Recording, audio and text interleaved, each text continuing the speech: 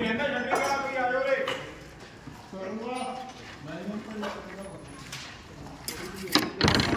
ਚਾਹ ਕਰ।